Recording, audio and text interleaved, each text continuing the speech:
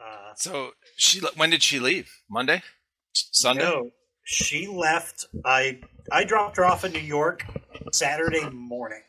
Whoa. Yeah, and I've been a bachelor and will continue to be a bachelor until uh, this upcoming Sunday at eleven o'clock.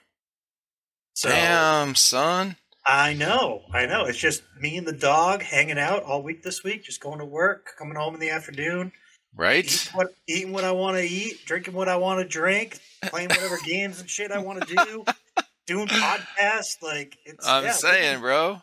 I know, living the high life, right? I just now saw your uh, right before when I was doing this update and everything. I was waiting for it.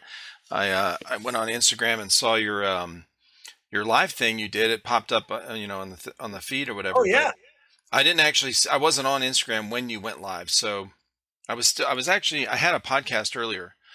I did. I saw that. I saw you had Okay. one earlier. I was Yeah. I was scrolling the trifecta page, and I'm just like, oh shit! Oh, he's in a podcast right now with. Uh, Uh huh. Well, who was it? Um, call sign mother, right? Yep. Yeah. Yep. He's in the UK. Yep. Uh, yep. So he is. Um, I had a guy on last week who uh, is Ben, call sign Milk, and uh, he's young. So mother is his dad. Oh, really? Yeah, yeah. I know, right? He said, "Man, uh, when we started playing, when I started bringing my son out, um, and I had this nickname, it's like." He's like, Dad, can I call you? Like, it's weird. Like, what am I? I'm calling you mother. Like, what? That's really funny. Uh, that's funny. Oh man, so Ugh. what's up, dude? dude, I've just been, to be honest, working, working, Yeah. working, working, working. That's what I heard on your live stream. Yeah, that's it's what I've been doing on the live stream. It's what I've been doing in life. Yeah, Hey. there you go. Uh, yeah, but yeah, no, I um, I've had a pretty busy year work Really? work wise, personal wise, like okay. a lot of. I mean, that's kind of good. going on. Yeah, it, it, it's good. Some of it not all good, but you know, uh, oh, okay. but I'm I'm not on social media as much right now Yeah. this year. You know, I haven't even gotten a chance to do any like video editing and stuff, which sucks. Oh, but- wow. Okay. But I am still going to events, which I guess Yeah, that's right. what matters, right? Like right, right. social media and stuff, whatever. But as long as I'm still making it out onto the field, that's what matters. Exactly. Yes. So that's what I've been doing this past year, and uh, yeah. I I was told also that uh, you have a check for me for all the people that have been coming on the podcast. Right? Apparently, I'm The a re- trifecta talent agent. Or Re- something like referral, yeah, referral Yeah. marketing thing. Yeah, that's all right. For real, bro. Um, yeah, That's right. You uh, can make it out to MattyMo Talent Agency. I'll just There we go. The, the check, all right. That's it, dude. Seriously, between you and then, uh, so yeah, definitely you and here in America, and then um, Marcus and Dan and a couple other guys over there in the uh, UK. They have been. That's how I found these last two guys. They Yeah, messaged me yeah. and said uh, Marcus, you know, talk to them, and so Mhm. uh, and then Scuba, same thing. Like, yeah, that, that's kind of how the podcast has gone. When I started, it was like, um, when I talk to one person, they'll mention just like what you did the original time. Yeah. you know, mention right? somebody that I played. You know, oh yeah, I played with this guy. Oh yeah, you should talk to this guy. You know, oh okay, and I'll hit him up. Yeah, you know, yeah, so it's like a family tree. Oh, of course, dude. dude. You are like in like the lower webs of that tree right now. Like you're going through everybody, man. I love it. Uh, I love it. I can't. I I, do I don't too. catch every episode, but I do catch a lot of them. You know? Yeah, that's good. Oh no, I don't expect. Well, especially creators, uh, content creators. We are uh, we're busy doing whatever we have to do to record the content, and then Yeah. editing the you know doing the content or um, editing the content and putting it out there. So it doesn't leave a lot of room for actually watching a whole lot of videos or listening to a whole lot of things unless you're It- in a position where like you're driving long distance or you're um you know Mm. when i was working like um uh like some of the guys have hit me up said yeah man i work construction i i have my earbuds in all day i listen to you know Yep. a yep. podcast whatever so but if you're not in that position it's uh, it's very difficult to actually sit down and do so because if i have time to sit here um i'm working like i'm editing or I'm recording. Yep. So yeah, yeah. And I, so yeah, I, I, totally understand. I totally understand. I, when I used to be, you know, working construction out in the field and stuff, I did the same thing. Like I had, yeah. I had podcasts and stuff that I listened to. Fortunately, you weren't out when I was doing that, so I can't. I know, right? I know. But now, now that I'm now that I'm working in a desk setting and I'm, I'm yep. behind the desk and doing the estimating and stuff, it's a different work environment for me. So like I'll I'll throw your video on, I'll close the tab, I'll get back uh, to working on my estimates and stuff, and I'm listening to you in the background. Okay. And then the phone rings. Yep. And I'm just like, oh crap! Uh, wait, yep. pause video. Pause. Then the phone conversation goes on for 20 minutes. Then I go sure. back to doing work, and I'm just like, oh shit! I forgot E-Rock was talking. Hang on. oh yeah. I've done that so many times, man. Uh, so it literally takes me like one or two days to get through one of your podcasts. Sure. Oh, absolutely. There's I'm not. Like, oh, yeah, not. There's not a whole lot of people that are um, that are in a position where they can uh, just listen yeah. or watch. Uh, you know, I was really surprised to to um, see that or, or hear from people that um, there's a handful, not a, not a lot, but I guess more than I thought. There's more people than I thought would be watching the videos either on Spotify or YouTube. And I was like, really? And they're like, yeah. I mean, it's not a, it's not a lot of people as far as the total. It's just yeah. the um, the the there's the few that are like, yeah, I don't really like listening to just the audio. I like to watch it. I'm like, oh, okay. I yeah. rarely watch podcasts. I uh, I just listen to them. No, I uh, I'm a, I'm the YouTube guy myself. Okay. I do YouTube yeah. music, YouTube everything, YouTube podcasts. Gotcha. But uh, I I'll definitely throw you on like if I eventually when I get myself on the treadmill, right? I'll throw, I'll throw your podcast on and I'll be walking and listening to you. Or I'll, oh, do, yeah. I'll do I do rucking now is my new oh, thing nice. that I do on the treadmill. Yeah, I I got into it with the um with the ArcLight event that we did earlier this year. So yeah. I knew that we were going to like a 40 hour 40 hour light, I guess you can call it, event, but we are going to be on the field the whole time. And I was expecting to do some rucking, you know, not a lot, but at least enough where I'd have to carry my stuff around. So right. I, I panicked and like for four weeks leading up to the event, every single day I, I got on the treadmill and I threw on my full kit, everything. Yeah. It weighed about 25, 30 pounds and sure. I just walked, I just walked with it the wow. entire time. Um, and I, I lost good, some, though. I lost some weight, which was great. Yeah. You look good, man. Yeah. Thanks. Yeah. I think I put it back on, but we'll see. but, uh, I fluctuate so so quickly. Same. Up and down, you know. Same, dude. Same. Oh, yeah. Well, I'm I'm definitely fluctuating this week. I mean, no, no nobody nagging me, you. So. oh yeah. my dad. I remember when I was growing up, my dad was like, um, he was the same way, and it was uh, he'd have, um, you know, growing up in Cleveland, Ohio, you know, get cold in the winter, of course. Oh yeah. So he had a he had a a whole set a separate set of winter clothes. Not not like, you know, of course we have our winter jackets and that kind of thing, but I'm talking like winter pants and stuff because uh, he would gain so much weight in the winter. You know, it's cold. He's not going out as much. Um, holidays, all that kind of stuff. So, and he would gain 30, 40 pounds from wintertime. And then he'd lose it all in the summer. And he had two separate sets of different. His summer clothes were way smaller than his winter clothes. oh yeah. Oh, I feel that. I feel that. I tend to wear the same thing almost every day. Like honestly, like I am wearing I'm, I'm, wearing this right now for the podcast, yeah. right? But my everyday dress is literally a polo shirt and jeans. Like yeah, every single day. I, I don't even sway. Yep. I just started wearing a, a hoodie. Um, yesterday morning was uh, yes, yeah, yesterday morning was a little chilly for South Carolina. Uh, it was in the 40s, so I was Ooh. like, "Damn, bro, okay, it's gonna, yeah, it's gonna getting, wake you up." we're getting some of that up here for sure. I still have all the air conditioners in because, like last week, it was a couple days in the 80s and the 90s up here in yeah uh, New Hampshire. But yeah, just yesterday, had the AC on. I only had the fan running and turn it on, went downstairs, watched TV for an hour or so, go upstairs to go to bed, and I'm like, holy crap, it's degrees in the bedroom. Pipes are gonna uh, freeze. What am I doing? So yeah, no kidding, right? Yeah, AC's got to come out uh, this weekend though. That's yeah. You got uh, window units. Yep, yep. I got oh, window yeah. units throughout the house. Yeah, they they suck, but they get the job done. So they get the job done. They're um, it was uh, when we lived in Ohio before we moved down here. mm-hmm. uh, we always had window units, and it was um, we do the same thing. Like growing up, my parents yeah. never had central air. In fact, most most everybody on our street most didn't have central air. Didn't have central air. Central no. air wasn't something that came out. I think until like you can correct me if I'm wrong, but maybe like the 2000s. Like most homes didn't have that, and to and yeah. to pay extra to have that installed to your home, it was oh my god. Oh yeah, you're, for real. You're losing dude. basement space at that point. You know. I'm telling you now.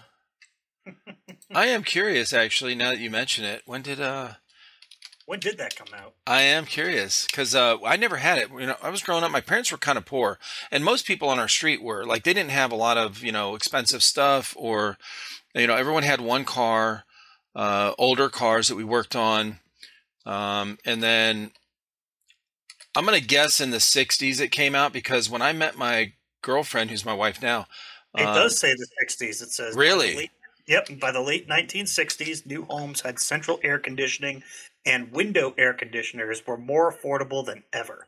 In the yes, 19- there it is, 1960s. Okay, yeah. See, I was uh, we didn't even have a microwave when I was growing up. Um, oh, wow. we uh, yeah, we didn't have a microwave until I was like right before I went to boot camp, like right before I went to military.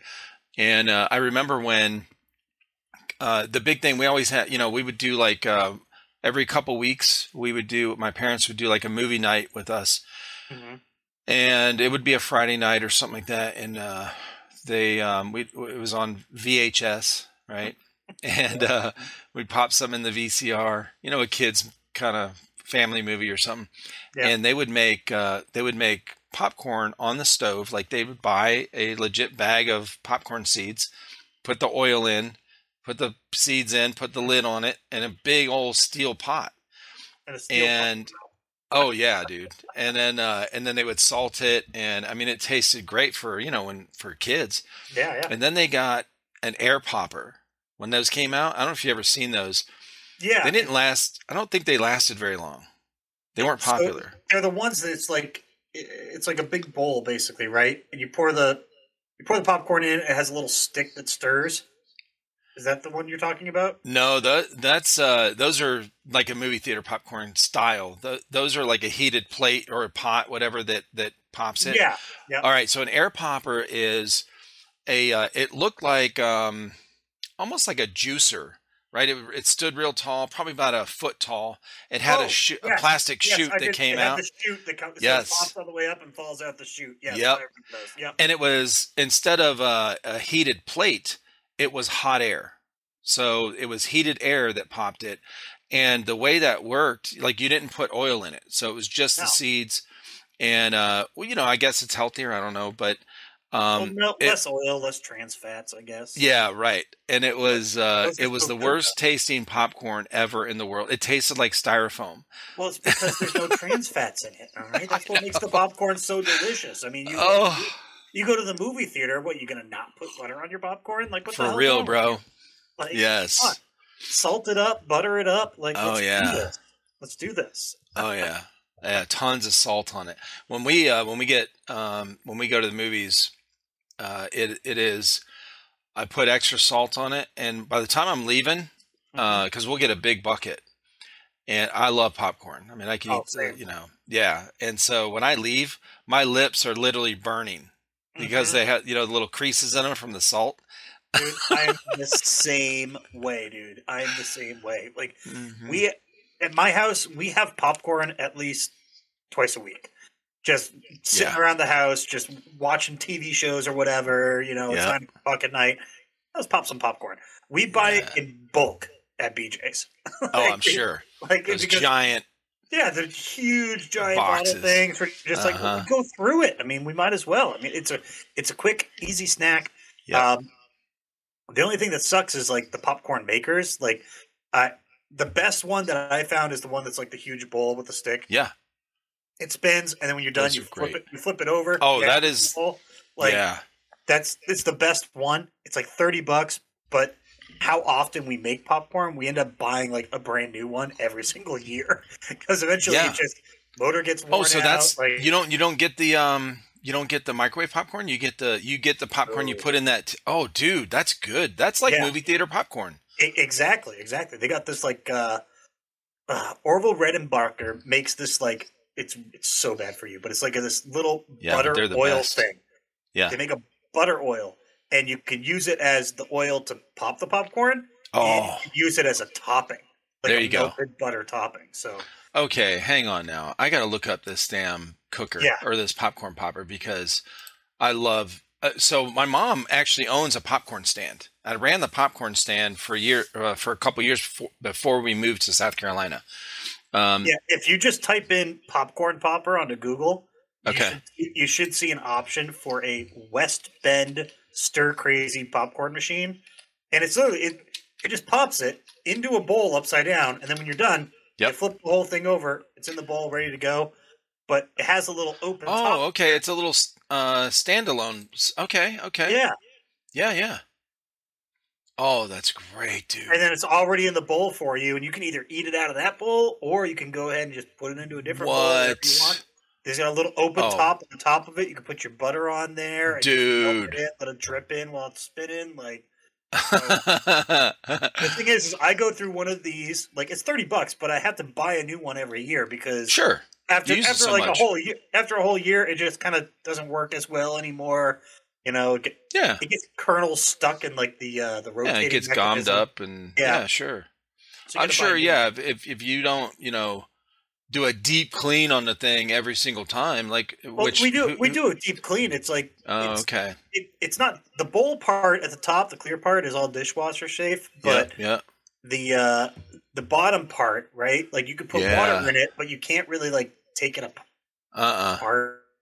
And like clean all the gears and shit like that. No, Plus, I don't right. want to either. For thirty dollars, I'll just I'll just buy. That's what. I'm saying. For 30 bucks once a year, big deal. exactly right. Like Not only that, Whatever. but so now, okay, so let me ask you this. So then when you, uh, so you're buying the bags of popcorn seeds or the bottles of popcorn I'm- seeds? buying like these bottles of popcorn seeds. I You see get- one right here that's recommended. Um, yeah. You know how Amazon has the, Oh yeah. So like the eight pound bottle for yeah, Yeah. I'm seeing it right here. Eight pound bottle. Yeah, that I, that's basically what I get. The original. I'm going to bring this up on the screen. I'm showing people right now uh, that are. so if anyone's watching this podcast instead of listening, um, I just brought up on the screen for a minute here. You can see oh, which do you is. the kernels because they also have that butter popper, like flavored oil on there too. Yeah, did you see the? So this one is Dutchman's popcorn coconut oil, butter flavored oil. But the Oh, one you're talking about is Orville Redenbacher's. Yes, Orville Redenbacher's uh, popping and topping oil, which literally just takes tastes like movie theater butter. Yeah, I'm, dude. pre- I'm pretty sure it's just like a synthetic melted butter, and it's probably the worst thing you would ever possibly eat.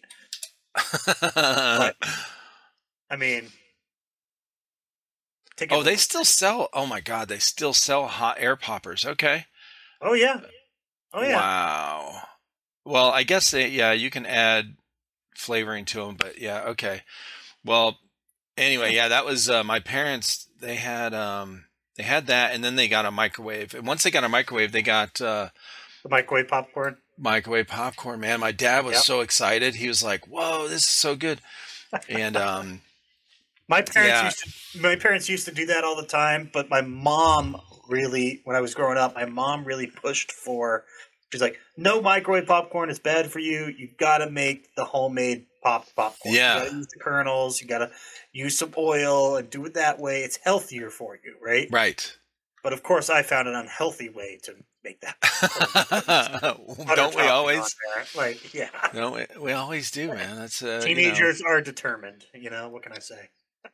Have you seen those? Um, I mean, I'm sure you've seen those videos over the last uh, few years where uh, they people started frying everything, like Mhm. Twinkie, you know, deep fry or whatever, you know, fried Twinkies and fried. Twinkies, Oreos, Bananas. pickles, bananas, watermelons. um, somebody deep fried a watermelon. I forget who.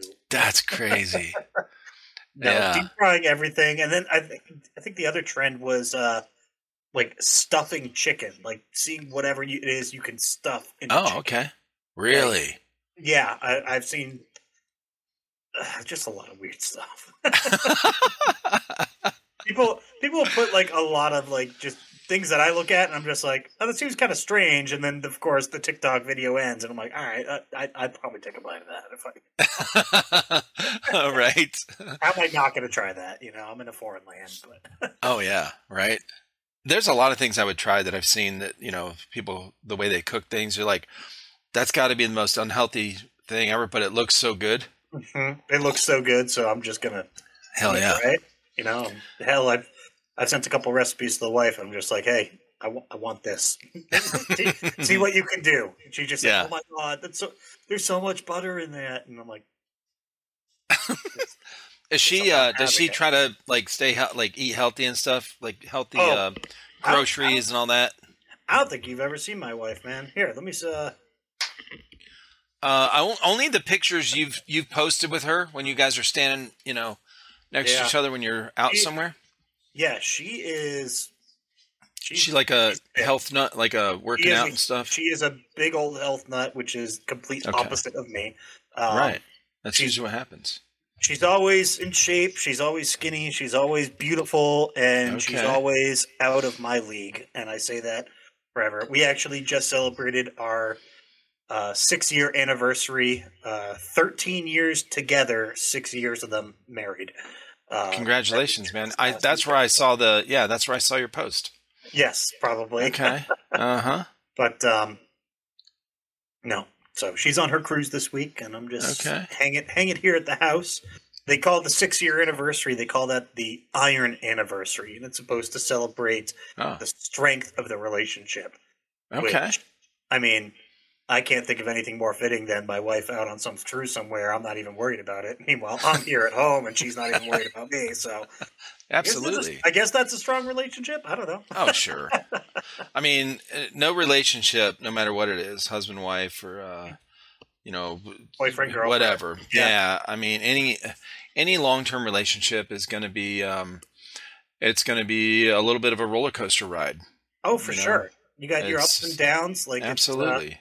We've we've been through our high points and our low points and stuff. I mean, 13 years together, man. Like that's sure. I mean, I've been with her since 2010. You know, yeah, and we've had uh, you know multiple different jobs, school, right, families, weddings. I mean, oh yeah, it's a lot. But when you find that person that's uh, that's your one, you know, you that's just, it, man. yeah, you street and you make it work. Yeah, you know? absolutely. You make it work. You really do. That's a um, you know, when you when you have it in your mind, like, hey, we're gonna we're gonna work out this thing, we're gonna work this thing out, or work, you know, make it work. Um, stronger yeah. together. You know. Yeah, absolutely. Mm-hmm. There's uh, it's always you know we're just that's a real common common thing, you know, and I, I wish more people would get back into uh, that kind of mentality with the relationship. You know, mm. um, I was I was talking to this guy a couple days ago, and um, he said, uh, "Yeah, I've been with. I'm going to see this girl, um, and her and I've known each other since like elementary school. Yeah, and we have a thing for each other, but we can never seem to get our shit together to like stick together. You know, it's like we're always at odds on something or whatever." I said, "I think she's probably the one you're supposed to be with, bro." And mm-hmm. uh, he's like, "I think you're right." And I want to, but she keeps saying, you know, keeps avoiding it or whatever. I was you like, know, oh, okay. It, you know, they always say that relationships are a two way street, but I, yeah. I think relationships are a little bit more than that. My, yeah. uh, my grandmother said to me a long time ago, um, you can't, oh, Jesus. She said to me, you can't truly love another person until you truly love yourself. Absolutely. And a lot of people, you know, they'll say, "Oh, but I do love myself. I know who I am as a person." But then you're willing to change everything that you are as a person to be with somebody else, and you, you have that back and forth, and then you regret the person for that.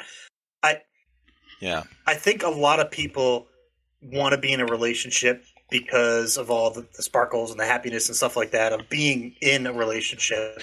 Yeah, but you need to take that step back and realize, hey, listen, if I'm not happy with who I am as a person, if I'm not happy with the things going on in my life, you know, if I if I'm not happy with my career, if I'm not happy with you know getting through school, education and stuff, if I'm having you know family issues and stuff like that at home that I need to deal with, maybe I'm not in a position to be in a relationship and give it my 100% to another person because mm. at that point you know that person i'm a crutch for them you know that I, yeah. To be feeding off that person hanging off of them you know for everyone yeah right and it's not fair to them and i think that's what's happening nowadays in a lot of relationships and i think a lot of mm. people can relate to that you know yeah best best advice i ever got you can't truly love another person yeah. until you love yourself get your own stuff stuff figured out with and don't be with the person because I can't I can't be without them. Like yeah. Be with the person because they support you in your life and you have that kumbaya, if you will. Sure. That back and forth. That it's a 50-50, you know, it's a two-way yeah, street. got that chemistry and you you work on it and I mean, my my wife is on a cruise in the Bahamas right now, right? She's going to bars. She's partying with her sister. They're having an absolute blast. I'm sure she's getting hit on, and I don't have any jealousy whatsoever because no. I I know my wife. I love her. She loves me. Yeah. I don't have any of those fears or anything like that. We've had mm-hmm. a 13 year solid relationship. There's a lot of people out there that would not say the same thing or be in no. the same position as me. You know, I think that's. I, I would have to guess if I had to guess, uh, jealousy is probably uh, up there at the top of the list as far as uh, destroying relationships. You know, oh, on, sure, on both sure. for both people because jealousy is, um, you know, its root cause is fear. It's fear. It, you know, it's it, it, insecurity leads to jealousy. Fear leads to insecurity. So, you know, it's this fear of losing whatever you have and or being uh, being alone or being yeah, being alone. person. And and it comes back to again, like I said, like you know, I need to be with this person. Well, why? Uh-huh. Well, I I live with this person. If I'm not with them, then I, I lose my apartment. Or you know, if I'm I'm not with this person, then you know, I they're doing something for you that you're not yeah. doing for yourself. I mean, like exactly. It, you can't have those crutches. It it really all does come back to at the personal level. If you are not happy with yourself mm-hmm. and happy with the life that you're currently living, then you can't fully give your all to a relationship. I, I truly yes. believe that. I truly feel that, and it's uh, it's. I read this. Uh, I read this book, and it, what you're talking about exactly uh, what was um, what I read in this book. I think the book was actually Coach K. Uh, I can't remember what the name of it was, but it's one of his more popular books, and um, he talked about the um, the uh, mentality of winning. Okay, so hmm. as a coach, and th- this goes through, you know, so what you're talking about is someone's approaching the relationship uh, in a way of how do I not lose in this yep. relationship, as opposed to how do I win, right? It's not a conscious how, thought; it's very subconscious. Right you know and it's a uh, it's a it's a subconscious thing we don't realize that we're thinking that way mm-hmm. But when you approach something, whatever it is, uh, out of fear, like fear of losing whatever, losing a basketball game. Um, if you're coach, you know, I've seen we we see this every weekend in uh, college football, in basketball, whatever. You know, you can see by the play calling, by the uh, the the locker room talk with the you know halftime talk and stuff. Uh, if the coach is coaching out of fear of losing as opposing to winning, you know, like I, I, I don't want to lose, so I'm coaching this way, or I'm, I'm treating my relationship this way. I don't want to be alone, so I'm treating my relationship this way. It's a subconscious thing, but you're uh, you're coaching to uh, win. And well, the book was like, "Hey, coaching to win." I think it might have been something like that, playing to win, as far as far uh, instead of playing not to lose. And it's a very subtle difference in your mindset. Hmm. But um, but you're absolutely right, man. Where that comes from is uh, is fear, and if you don't have the self confidence in you, exactly. like that comes from in here, man. That you really you've got to have that. You know, no one can do it for you. No one can feel that for you. And you have, you have to, to, be do confident it. with the person that you yeah. are. You know, if it, it if there are things in your life that are just consistently upsetting you, right? Mm-hmm. You don't need a relationship to solve those issues. You just need to solve you yeah, know, absolutely. It's it's you can't take that you know those problems and put them onto another person. It's not fair to that person, and yep. I feel like that's where maybe ninety percent of relationships kind of just fail. You sure. know, or they just fall off. You know, you know, you you have you know relationship problems with your mom or whatever, and yeah. you bring your girlfriend into it. So now your yeah. girlfriend has problems with your mom because your girlfriend can only hear your point of view, doesn't yeah. point of view. Like, yeah, that's just never good. You know, like it's yeah. Yeah, absolutely. well, you know, speaking of that, man, it, you know, so listen, anyone that's listening or watching this, whatever, uh, these are pro tips from MattyMo. If um, no, for real, like these are uh, this is this is good stuff. And if you're wondering, um, some of you young people out there, if you've never read these books, you don't actually have to read them if you don't want to. Uh, it, you know, there's Audible, there's a lot of different options out there, but oh yeah, there's a couple of different books. One, you know, like what you're just talking about, being happy, right? Like being content and happy with yourself. There's a really good book by Marci Shimoff, is called Happy for No Reason. I read this years ago. Uh, you can get it on Audible. Um, okay, look look that up. It's a, and I'm talking to anyone that's listening or whatever. Definitely, if you're um, if you're wondering like, oh, I don't know, like you know how to have a positive mindset in life okay? There's a lot of tools out there for you. Um, that's one book and then the other one like i said coach k has a book. Um, i think it's something like uh, coaching to win or something like that. Um, but anyway uh, a lot of different tools out there. There's a lot of motivational speakers that really help you uh, you know focus on these kind of things and get your mind right. I'm going to tell you a really good practice is start your day off if you you know if you can if you have the opportunity to um you know meditation in the morning it doesn't have to be like some you know special thing like it's real basic. You don't have to have you know formal types of mantras or whatever in your head. You just look start out with start your day with uh, what am i thankful for today? What am i thankful for in my life? Focus on that because it's real easy to get uh, focused on the negative stuff. Um, and and kind of keep that trend going if you don't know how to break it. So that actually reminds me of my favorite quote I've ever heard in every, any movie. Um, the movie is Passengers with Chris Pratt and uh, Jennifer Lawrence, and there's a quote from the robot guy playing a bartender. Uh, if you've never seen the movie Passengers, it's basically a movie about um, spaceship is literally traveling across the galaxy. It's going to take like 120 years to get to a destination, so it puts people in hibernation. Yeah. And there's an accident that happens, and one of the hibernation pods wakes up, and it's Chris Pratt. He wakes up, and there's okay. still 90 years to go in the trip. Whoa! And he doesn't know how to fall back asleep. Right? Um, if you guys never seen the movie, I don't think I've seen that, dude. I, I highly recommend it. It is uh, okay. it's a great it's a thriller movie. It's also a little bit of a romance, so the wives sure, and sure. stuff would enjoy that. But there's a quote in that movie, and I just sent it to your Instagram trifecta. And if you want, if you okay. want, you can go ahead. You should be able to share it with other people. Okay. But the bartender is looking at Chris Pratt, and he says to him, uh, "You're not where you want to be. You feel like you're supposed to be somewhere else right now."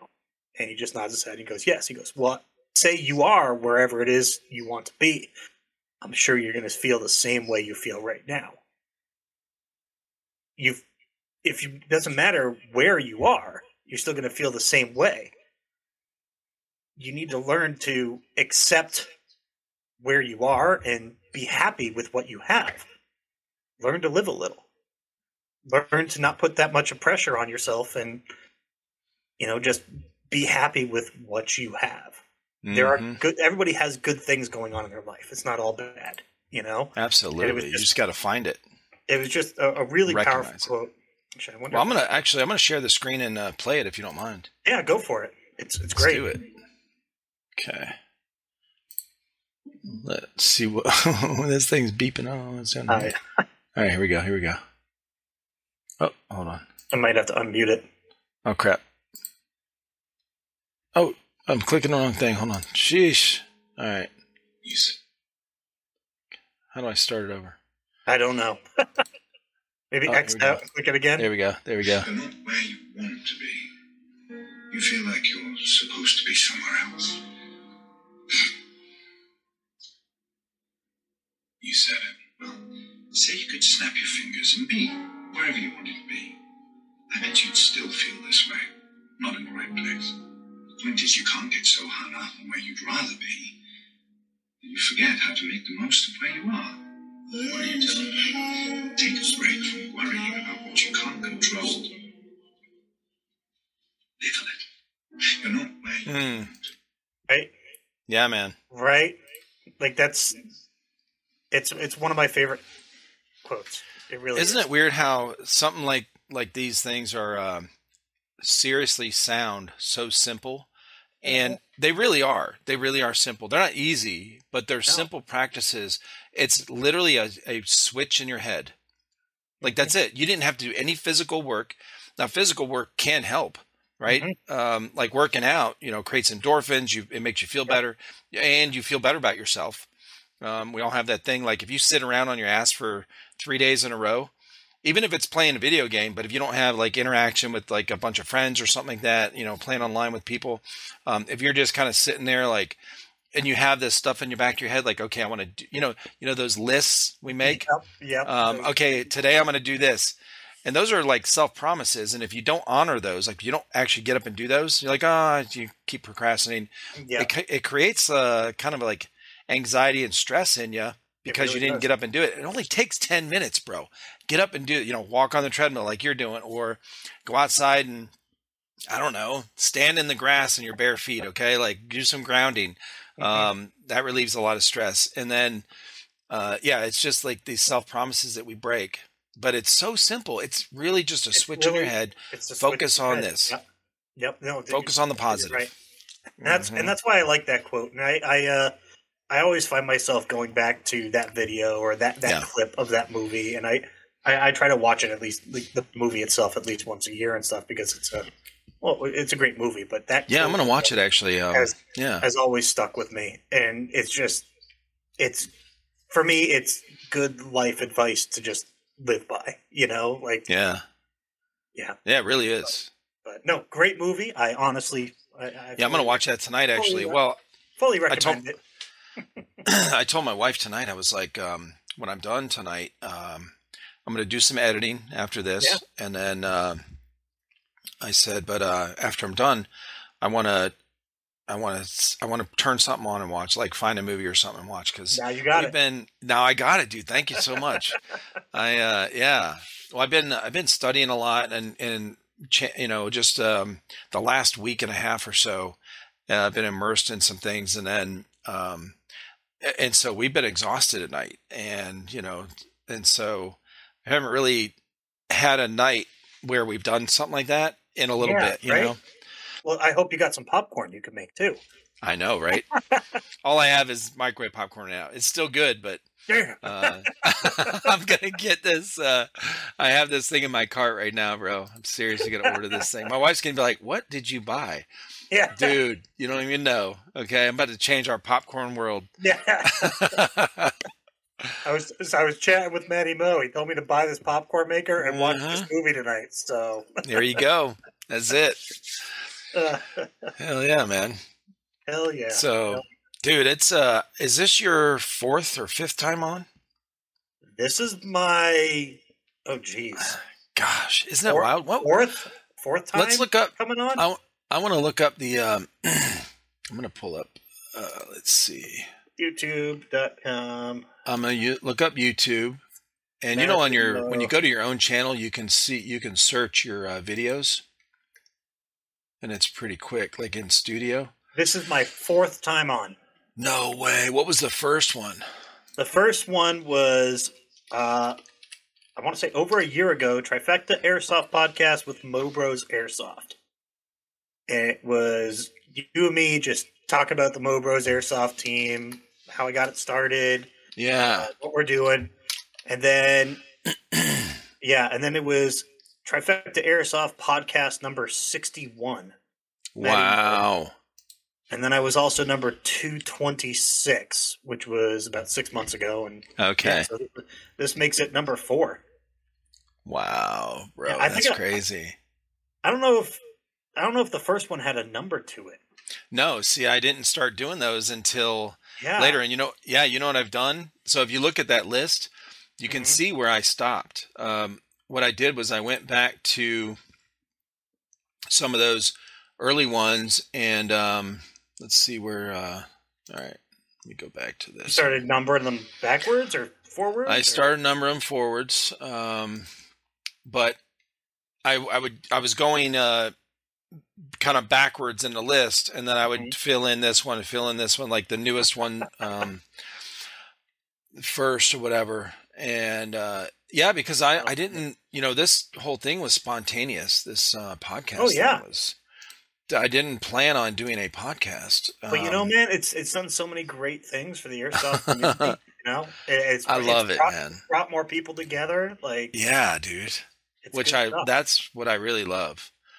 Yeah, my first uh, my very first podcast was with uh, Zombie Zombie thirteen.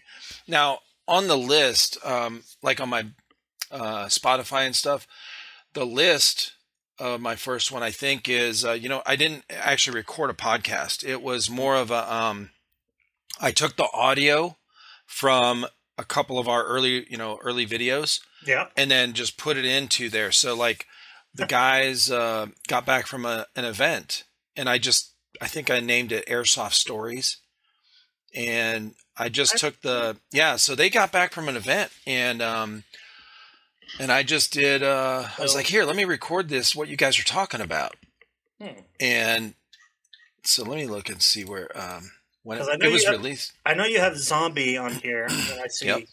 Cue Ball, Van Alex, B Yep. Gunfather Milsim. I Yeah, man, I forgot you did the Gunfather Milsim interview. Really, I had him on uh, a couple times. Yeah. Yeah. So here Um, I'm gonna share. I'm gonna share the screen real quick. And then, oh, I've seen a number here, um, number fifteen, and then number sixteen. Oh wow! So look at um Can you see that? Oh yes, I can. Yep. So look, June 17th, 2020. I did number I named it number 1 Airsoft Stories, okay? Number one airsoft stories. And then I didn't do another I didn't do another one until September of 2020. Airsoft story or uh, stories Iron Fury 2020. and that was the same thing and then I I literally took the audio from the review videos and the giveaway Mm-hmm. that we did. See, this was the review video of the um, SSP one and the uh, versus the SSX twenty three. Yep. Then June eighth of twenty twenty one. Look how spread apart these are, bro. I wasn't Yeah, they really. are. Yeah. So I didn't. Uh, and then this is a combo box review, Mhm. uh, AAP-01 test and review. I literally just stripped the audio off and put it on here. Um, so I'm. I saw here on your YouTube channel. Apparently, you had Admin Airsoft on, and then you had uh, a couple other people, and then it was Task Force Podcast, oh Radar yeah, from Moon Goons, and then me, and then Little Miss Airsoft, and Mhm. yeah, a whole slew. And then you had Blue Mag Airsoft on at one point as Oh, well. yeah. yeah. I had him on twice. Then you had Full Auto on, Yep. Yeah, I had John and I, and, I, and then I see me on there again. Exactly. I, I literally scrolled like four panes and I saw my own face twice. it is, man. Um, yeah, it's wild to go back and look at some of these early ones. Yeah, see how I named. Um, so what it was like this long name or title, trifecta air. Yeah. Like I literally was typing out the whole thing, um, Mhm. and then the number. Uh, I um, And then you just So- got to type in the number. yeah so what i was doing with these i copy and pasted from uh, the youtube video that i put on so and i, I would type all this out because i had heard back in the in the day when seo was a, a thing i don't think it is anymore i don't know but um, that on your youtube titles if you whatever keywords you want in there Mhm. then you put it in the title. So that's why I didn't abbreviate because I wanted Airsoft Ah. Podcast in the title to be uh, more easily found, I guess. But um, I don't know if I don't think it ever worked. But um, so Well, anyway, so Let's, let's see right here, right? If I go over here and I type in Airsoft Podcast, yeah, uh, the second one that pops up is Trifecta Podcast E-Rock on oh Apple. shit, oh, okay, nice. What's the Yep. first one? Curious. uh, feedspot.com fe- 15 best airsoft podcasts you must follow Oh, okay. Interesting. um, including Call Your Hits podcast, the Defro. Row Show, I know Defro. uh, Had him on. Airsoft Radio. I'm gonna click this link. Oh yeah, right, dude. I forgot about those guys. Matter of fact, um, they were uh, Zombie Thirteen told me about those guys long before I even thought about starting a podcast. Oh podcast. wow. Yeah. And then the Novritsch podcast, Yep. um, Airsoft podcast. I'm still looking for you. You didn't make the list, bro. Oh, that's okay. Well, there's a handful. Like there's um, what's his name? I Does haven't the uh, heard of many of these. I'm just like, what the hell? a lot of them uh, on some of these lists I've seen. I don't think I've seen that one from FeedSpot, but uh, I've seen a few of them when I was doing research on uh, how to get The listed. Airsoft- The Airsoft report is the number one, and that's by RGK. And last I checked, that's not a podcast. Oh yeah, so I was gonna. That's what I was gonna say is uh. RGK. Yeah, yeah. I Yeah. think he started calling it a podcast though. I, I'm pretty sure it's listed as that. Oh, did he? Oh, I, I, I, I didn't know that. But I, I mean, I know it's um, it's not like.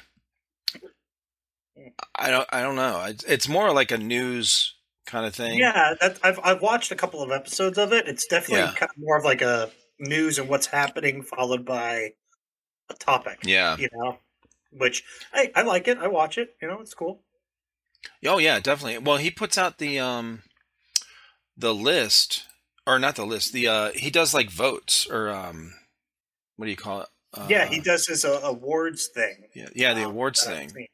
Yeah, it's a I- Mm-hmm. bunch of different categories. I think podcast is on there. Airsoft podcast is on there. Airsoft podcast is on there. I know, like I can't be uh, voted on though. best gun release is on there. I yeah, there's some weird Yeah, like right. qualification for airsoft podcasts. It's just like consistently released once a week or something like that. That It's, I read. I um, like, or, oh, uh, once a month. But the uh, the one that I don't qualify for is uh, that I saw on his list from last year was you have to have I don't know how many, but you have to have um, a podcast with no new guests or basically by yourself. I'm not sure what or whoever your crew is, you know, like your normal crew. I can't remember how it's worded. Um, I just saw it, but um, yeah, it was. Uh, but I so I won't I won't qualify weird. for the um RGK. Yeah, I Or won't you- qualify for this. once once a month you could just talk to yourself. You know. I could if I really was, you know, concerned about getting on this Yeah, on this right. thing, but I'm I You really I uh uh, yeah, I'm trying to see I'm um on his Instagram. Here we go, 2023. Okay, so There's a lot of there's a lot of other stuff on there too. I, I haven't glanced at it in a while, but uh, there's a, stu- a lot of stuff for product releases, best AEG release, best. Oh, yeah. Like a lot of product stuff, which I understand because I know he's sponsored by I think yeah, either Evike or Airsoft GI or Oh, something okay. like that. So I, I think that's what he's promoting, which I'm all for. Right? I just don't follow. Oh, me too. pieces and stuff. I, I'm unfortunately I just don't. I do follow event coordinators, and I did make sure I got on and I voted for event coordinators and I voted for podcast and I threw your podcast on there. Oh shit. So Oh, okay. Yeah. Well, I don't meet I don't. Okay, I so don't it's play by the rules. So okay, so the, there's only there's only three rules for the podcast. Um, it's uh, I'll show you real quick. It is um, best U.S. based uh, airsoft podcast Yeah. of 2023. One podcast per month minimum, uh, which I meet for sure. Uh, minimum of 30 minutes long episode. I think I quadruple like Yeah, quintuple that I don't know the word, but it, I, I have very long podcasts sometimes. and then, uh, and then the third one is this is one I don't qualify for. One episode without any special guests per month. So one I mean- per month where it's just me. Am I even considered a special guest at this point after being on for so many times? I mean, let, You are honest. special. I'm You not even that fucking special, bro. Like nobody cares. yeah, right. I mean, that's how I feel about me. I'm like, MattyMo's, it's- Matty Mo's here talking about popcorn and relationships. Like, whatever. Oh, dude, listen now. When uh, when somebody tells me, "Oh, I found your podcast recently, and I've been listening to them for the past week," you know, all of them, I'm like, "Oh, I'm sorry," because you have to hear my ugly voice every day for five days in a row. Good lord, child, I, f- I feel bad for you.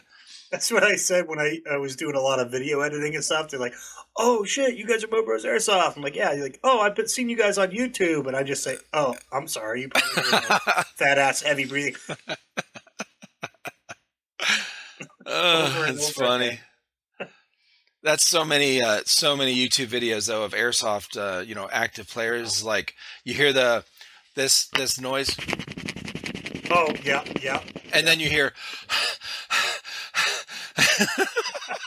and then you'll hear the of the uh, AEGs. The winding of the gearbox. Uh-huh.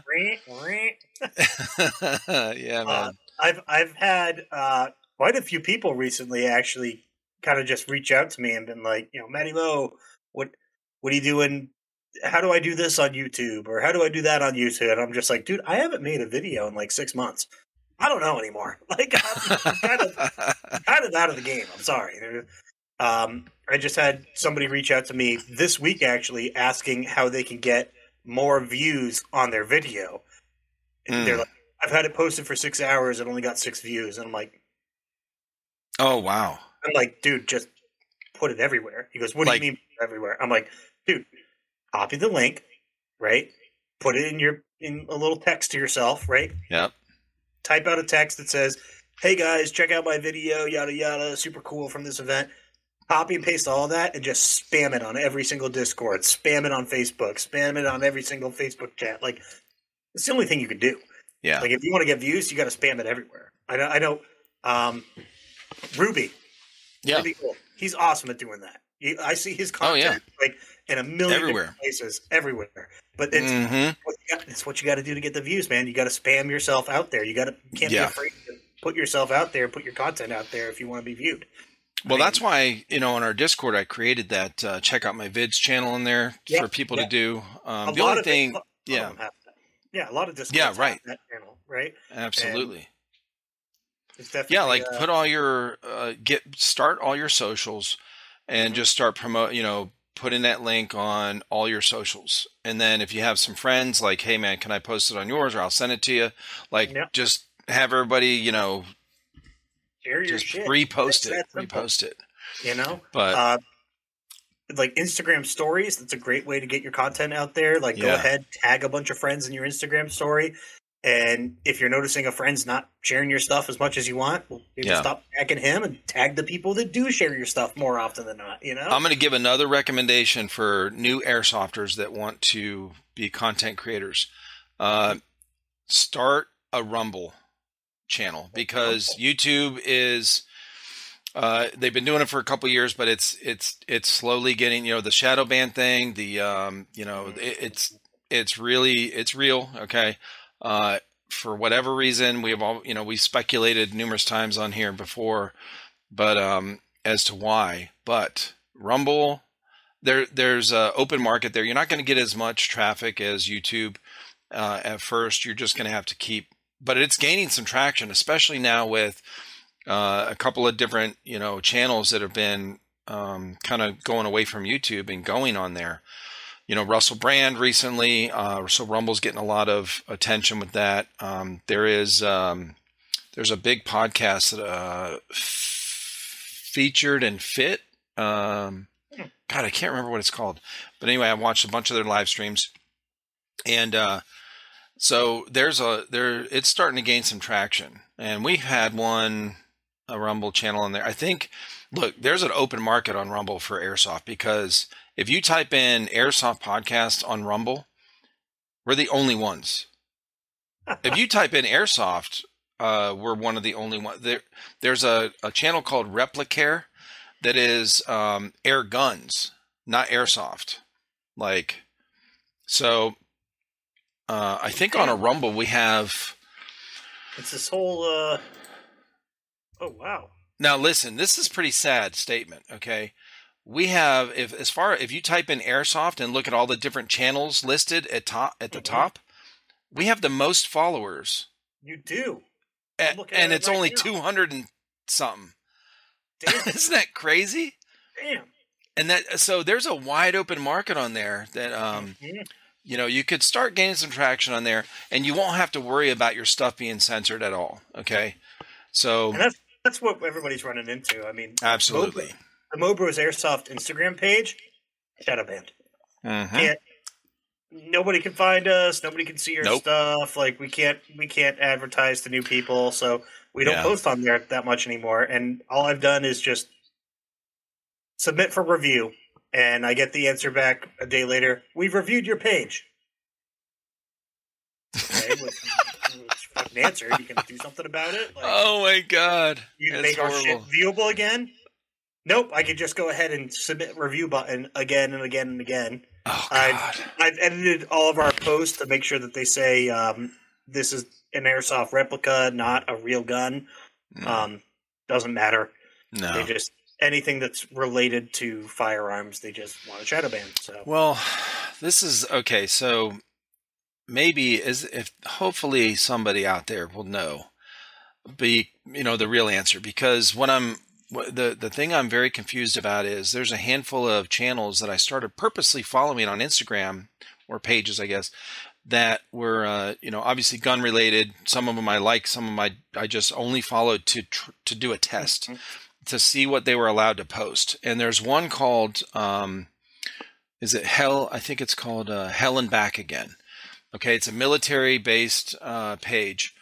And they are literally showing they're allowed to show people in ukraine and russia fighting in a war getting killed getting shot in the head getting uh, bombs What dropped the on them from you know grenades dropped on them from drones.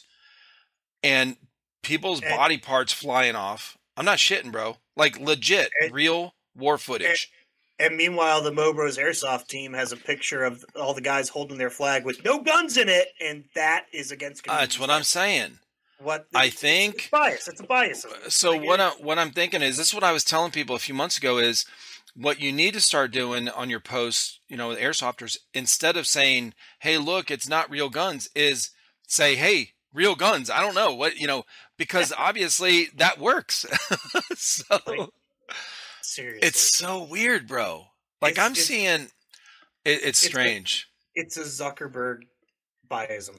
Bias. I guess. whatever. But don't w- know so the the question is the question I have and I've always had is, and this is what we speculate on is why airsoft paintballers all day, bro. They can post and post and post real Why guns and real war footage all day. I saw a video on I have a Instagram. theory on this. I have. A I do too, but I don't know. I saw a video last, uh, like two weeks ago. This guy was filming in New York City, and the, Mhm. the video must have been uh, maybe in summertime or something because it looked, you know. But um, a lady was run over by a bus, a city bus, uh, off of her bicycle, and was dragged. Part of her body, Oh the guts, the all the guts were dragged, or strewn out for probably fifty feet.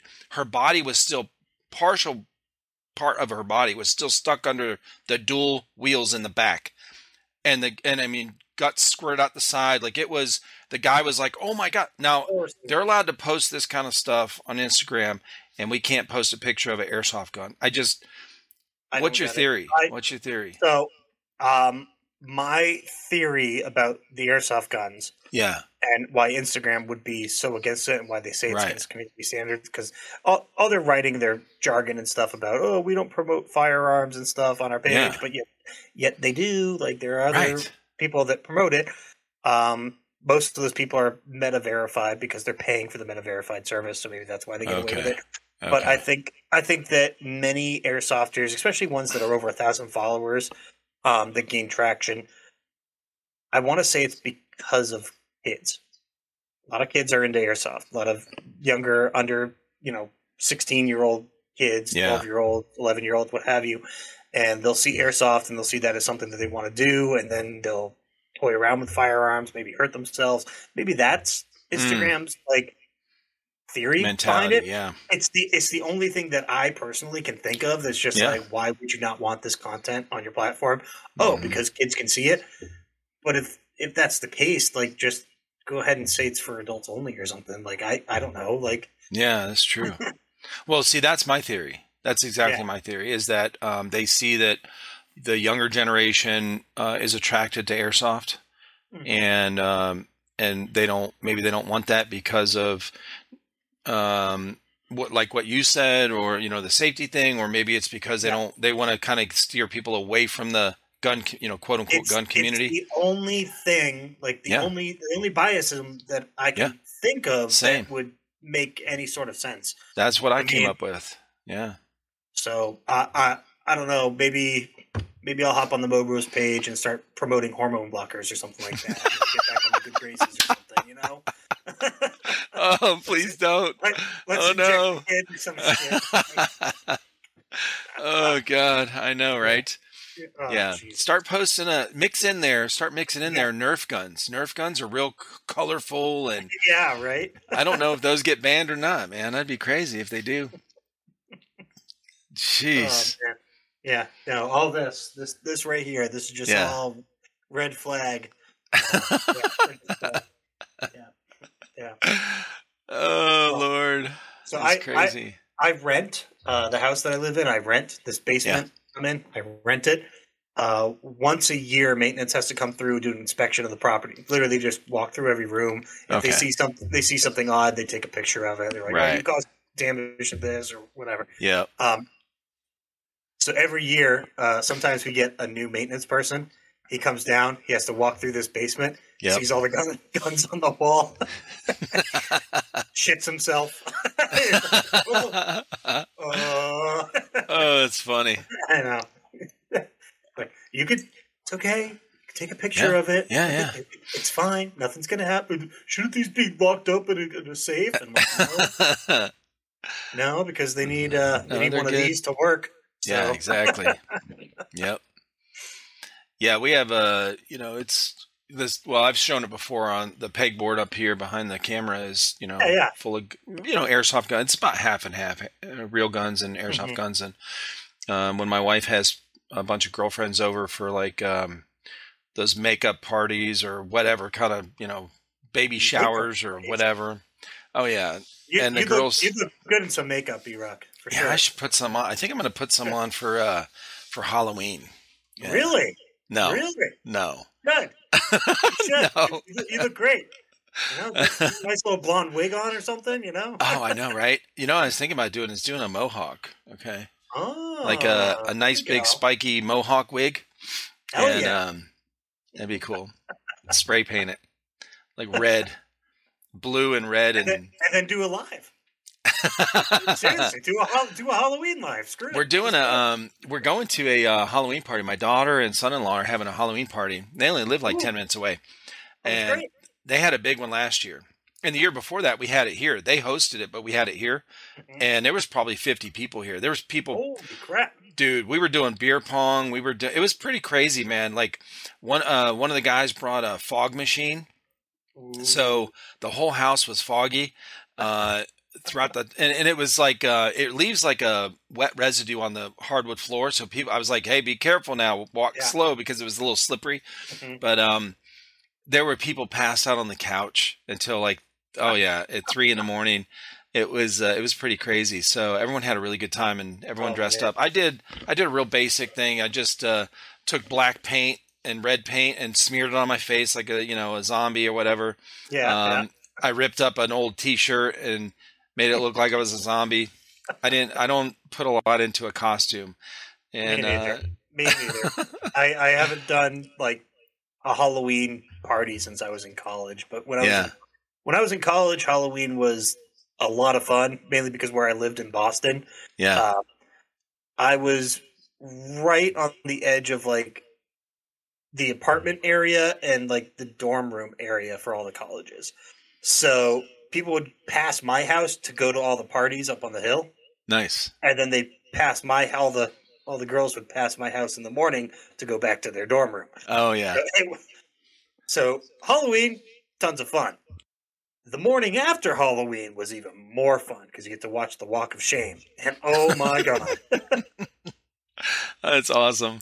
Uh, oh look, slutty nurse, slutty bumblebee. Their makeup's all like smeared down here, and their Well, their we're, costumes we're- halfway hanging, and we're still drunk in the apartment at freaking you know 6 Mhm. seven in the morning. We we didn't stop all night. We were waiting up for Oh, this yeah. part of the night. So oh, that's funny. Oh man, yeah, man. No, that was yeah, that was the most fun. I haven't done a Halloween party though and freaking years. I just I just have no idea of what to dress up as, to be honest. We you. did. Um, let's see. We did. You know, we we would do them because, like, when the kids were growing up and stuff, we do them, and have their friends over, and they weren't wild like this one a couple years ago. But they, you know, we'd have movies on for them. They would do the thing. We'd have games out for them, and uh, when you know when they're teenagers or whatever. So, uh, and of course, pizza and f- all kind of food and sodas and stuff. But they uh, and they they loved it, you know. And then then we started doing some with um, some people from work, and you know, like having adults over as well. And then as my as our kids got older, like in their early twenties, then they're then they're like, "Hey, well, let's do the beer pong," you know. And I'm like, "Okay." so, oh It's yeah, funny, it pretty. It's funny you mentioned the beer pong. Uh, so this past weekend, as you know, like I, I dropped my wife off for her cruise and whatever, Yeah. right? And I drove back. I drove back to New Hampshire, let the dog out, and I got the house ready, and I had all the Mobros team over for a party Nice. Saturday night, first Yeah. night. Um, we did this party last year as well Mhm. when my wife was out of town for a weekend, and we've call it now uh, the Mobros Twenty One Plus Night. Nice. And we go out, we hit a couple of the bars, then we come back to my place. This year we got beer pong going, Halo tournaments. oh uh, shit.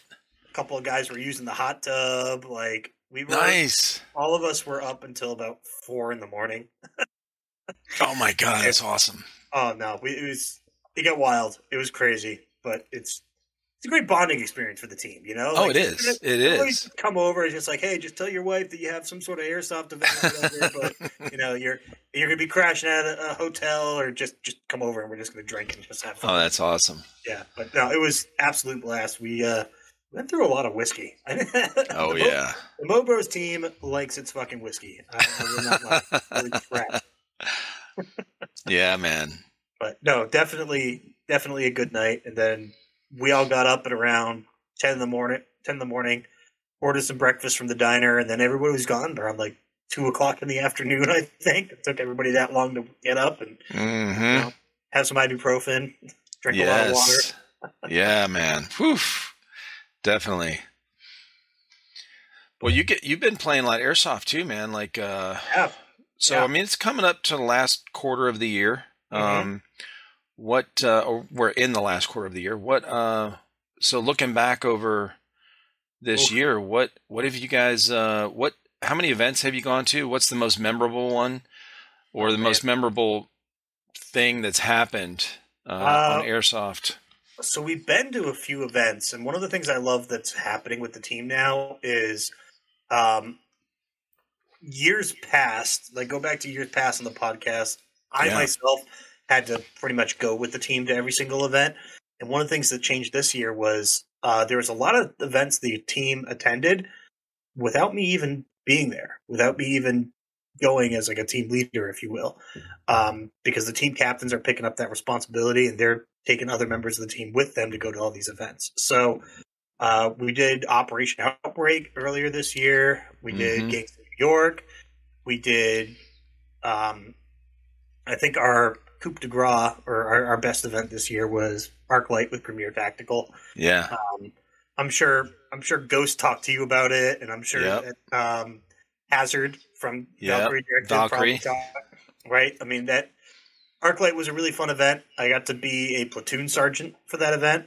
Yeah. Um, me and one of my good friends, uh, Rick Lane, Reaper Six from Dogs of War, um, who I've been telling him to get Oh. on and chat with you. And you told him again tonight on the live. I saw that right before you and I started. I did. I said, Reaper, you Okay. gotta get on, you gotta get on and talk with fucking E Rock. Uh, I'm gonna I'm gonna get him on here, bro. Reaper Six, great guy. Uh, he's got two kids, expecting a third coming along shortly. Congratulations to you, Reaper. But uh, hopefully, it doesn't take away too much of his time for airsoft. We'll see. yeah, for real. But um, right, Reaper. Yeah, I'm, yeah, I've been following him for a while. Okay, I'm gonna Oh, reach yeah. out to him. Definitely reach out to him, dude. He's uh, Mhm. one of, one of the greatest guys. He's been airsofting just as long as I have, if not longer.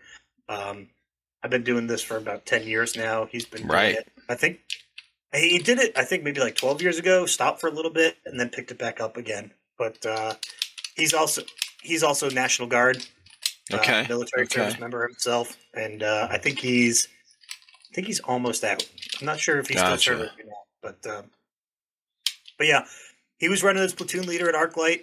Uh, I ran as his platoon sergeant, if you will, and together the two of us, we just we just had a great yin and yang at that event. Yeah. you know, Oh, that's if, good. If if he's dealing with something with command, he knew that I was dealing with the squad leaders and making sure that any questions that they had were being answered and so on and so forth. Right. Right. Um, I think most of that event, I myself, I spent on this right here, and I don't mean like scrolling Facebook no, and stuff. you're I the was- um, app. I was on right. I was on the maps, I was on the Yeah. applications, I was you know coordinating on the radios and stuff like that. And while I was doing all that command coordination, I'd bring all that information back to Reaper Six, and he would help move that around with the guys out on the field and get people where they needed to be. And it was it was a great yin and yang that we had. Yeah. And him and I have talked since then, and we're just we're really looking forward to the next event where we can get forty to fifty people to command Yeah. under us, so that way we can do that again. It was just an absolute blast. Um, we've also talked that it would be a lot of fun if we both went to an event together. You know, his team, my team, and we both swapped squad leader roles. So I would run his team as Ah. squad leader. He would run my team as squad leader. We thought that would be Right. a really real fun thing. Either that or maybe go to an event where we're both COs and we can fight each other, but have our teams swap. So that way Mhm. the Mobros would love to get a couple of hits on me. I'm sure the, the Dogs of War would love to get a couple of hits on him. So Uh huh. that'd be fun too. But, Oh, that's uh, cool. That's a no, good Rick's- idea. No, Rick's an absolute great guy, and uh, yeah, ArcLight Nice. was ArcLight was a blast of an event. It really was. A lot of night portion gameplay. Um, had some cool moments myself. Uh, I got to drive the technical, which was really cool. I've never Oh, done wow. that before. Um, Was it a it- Hummer or a Humvee? No, no, it was just it was just a pickup truck, honestly. Okay, okay. Yeah, just a pickup truck, and then people would get on the back of it with their Yep. LMGs. But uh, it was Sunday, which was day two of the event. We were defending the Forge area, which is our main base, and we also had a small contingent over at uh, uh, I think it was like the research center, ISO one one five or, or something like that. And you could see clear across this field. You see the large tree lines and skirmish paintball. And I'm I got our entire platoon. We're all situated in the forge. We're in defensive positions. We even have a squad further out in front of the forge looking at the tree line. And then we have the rest of our entire faction in ISO 115, and they're conducting research to be able to score an objective, objective Hades. I, I'm not sure what they were doing. All I cared about was, hey, we're, we're defending this. That's all that matters. Right. We have we have the technical, and I'm literally just sitting in the driver's seat of the technical, hmm and I just I pull out a granola bar, and I'm like, oh, I haven't eaten all morning. Fucking eat this granola bar. All right. I start munching down, and the radio goes off right here at my head. It goes, "Holy shit! ISO's getting hit. They're coming out of the tree line. ISO's getting hit." So I do one of these because you can see the whole tree line, right? I Yeah. do one of these. And there's about like 40 to 50 guys sprinting out of the tree line headed towards ISO, which is just on the other side of the field from it. You can clearly see it clear as day. Yeah. And the guys on the radio, they're like, uh, this is squad two to command. Like, what do you want us to do? Should we go ahead and push up on that shit? What are we doing? What are we doing? Hold now, hold now. ISO needs to defend themselves. We can't abandon our position because then we'll lose both positions. Like, we gotta hold still. And then next thing you know, I, I look over to my left and I see our CO, Commander Connolly, Doc Connolly, Rabbit's brother from Grimnir Tactical, mm-hmm. sprinting down the stairs. He runs. He jumps on the back of the technical. He's just, Maddie, let's fucking go. I'm like, oh shit! Like startled, I I dropped my granola bar and I put the key in. And I put it in drive. and I start going. I'm like, no, I'm so hungry. I start start driving this thing. I'm going five miles an hour. He uh-huh. slaps the and he goes, "Fucking pick it up, let's go!" And I'm like, "Oh, all right, let's we're going." oh my god! All the way through, I got I got footage of me uh, rolling down the window, sticking my gun out the side, oh shit, popping a couple rounds, while Doc's on the back of the uh, on the back of the trunk of the technical with my LMG. Uh, this this one up here, just gunning guys down left yeah. and right. I mean, it was it was awesome. It was a lot of fun. Dude, that and, sounds uh, awesome. It's not even my technical. It belonged to uh, another squad, another team, if you will. Uh, Tombstone Operation Group is their name, and uh, I just happened to be sitting in it. He told me to go. I, I just went.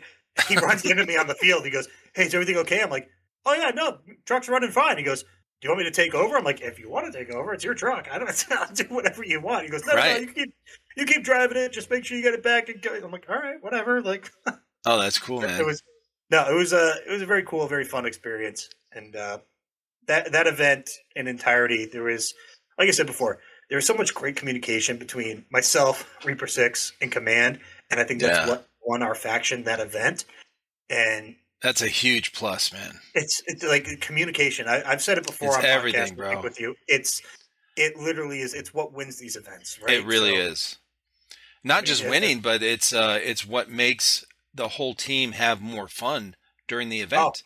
Oh, oh because sure. confusion, confusion halts everything, and this is in yep. just in general in life, like in manufacturing, in an office mm-hmm. setting, in a whatever, like when you've got a team in a team setting, no matter what it is, confusion halts everything, and then people start getting pissed and resentful, and then they start pointing a finger at each other, and then the whole yep. thing falls apart. Oh um, yeah, sure, yeah. Communication sure. is paramount, and and that's and that's one of the things I noticed, like especially that that Sunday at the event. Yeah. Like we had everybody in the defensive position, and we were waiting for about you know, I want to say about two to three hours. We were just waiting. We had a squad out there at the dunes in no shade whatsoever. They're just laying on a couple of sand dunes out there. Yeah. And they're baking alive. Oh, right? Oh, sure. They they've been out there for thirty minutes. I stood out there for you know, just stood out in the middle of the forge area for thirty minutes. I'm like, this is fucking hot. I'm gonna go. I'm gonna go grab some waters and run them out to those boys. that's what I did. I grabbed. We had a package nice. of waters there. I grabbed it. I walked around the whole facility, got in contact with all five squads that we had. I'm just like, who needs a water bottle? Drink the water bottle. Like every mm. single person. Went all the way out to the, the dunes. And as I was going out to the dunes, their squad leader calls in on the radio and goes, uh, "You know, Squad Two to command. Can we get somebody out here to bring us some what? Oh shit, MattyMo's got it. Never mind. That's awesome. Hell yeah! But it was it was that sort of communication, keeping everybody's morale up and stuff that I was responsible for, and I, I think everybody had such a great time. It was also um, it was also the first time that our Discord group was able to coordinate such a mass attendance to an event. Um, oh wow! I don't think I've told you, but uh, I want to say maybe like this year, maybe last year, mm-hmm. we started this uh, Discord group called East Coast Alliance Airsoft.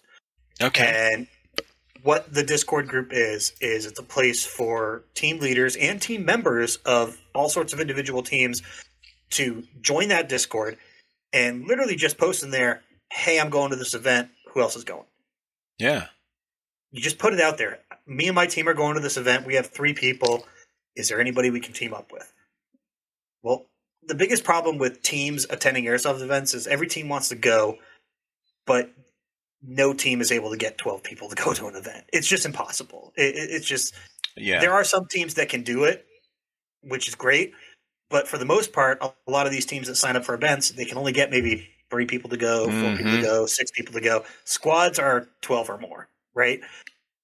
The reason we created the East Coast Alliance is so that way you can go on there. You can say, "Hey, we're going to we're going to GTI to Iron Dagger, and we have three people. We're signed up for this faction.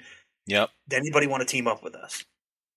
Hey, Mobros Airsoft here. We're going to Iron Dagger. We got four members. We would love to team up with Right. you. Hey, Dogs of War here. We got three members. Let's go ahead and make this ten, boys. Let's keep Yep. it going.